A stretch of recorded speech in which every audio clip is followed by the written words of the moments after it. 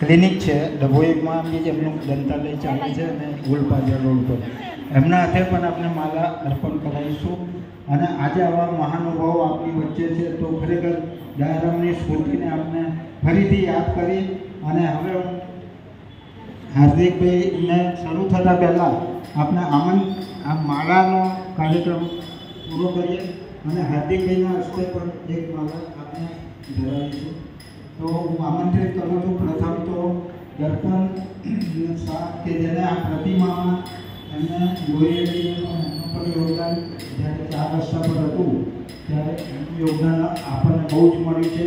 આજે હું એમને ભૂલું ના અને ભૂલી શકું પણ અને સ્વાગત કરી જોઈને આપણે એમના મન નાખીએ અને પછી આપણે કાર્યક્રમની શરૂઆત કરીશું બે મિનિટ ઊભા થઈને પ્રોફેસર હરીશભાઈ